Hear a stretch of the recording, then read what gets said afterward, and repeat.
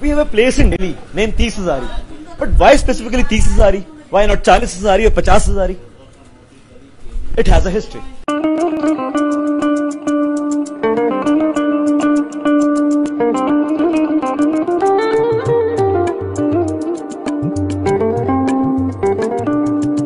In 1783, 40,000 Sikh under the command of fearless generals Baba Baghel Singh, Jassa Singh Ramgarhia and Jassa Singh Ahluwalia decided to conquer Delhi from the Mughal Emperor Shah Alam.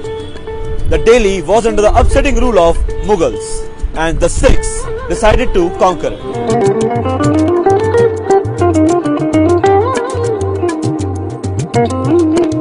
The force of 40,000 was divided into three. 5,000 warriors, each under the command of Jassa Singh Ramgarhia, Jassa Singh Ahluwalia, and the rest 30,000 horsemen were under the command of Baba Baghel Singh. 30,000 horsemen, 30 Hazar.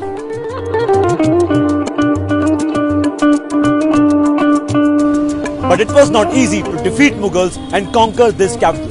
When Shah Alam, the Mughal emperor, got to know the Sikhs are deployed around his capital, he closed all entries of Delhi. And then the challenge began. They stayed there for a while, searching every possible way to enter the capital.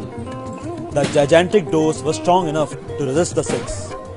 Nothing favored the Sikhs but destiny. Some of the Sikhs accidentally met a mason who told them about a particular spot in the wall, which is caved from inside and intact from outside. Sikhs knew that this is the right spot to hit. The mason agreed to lead the Sikhs and show them that particular spot. The Sikhs now planned to ram the wall with logs of wood to make a hole in the wall and get through. The place is now known as Mori Gate.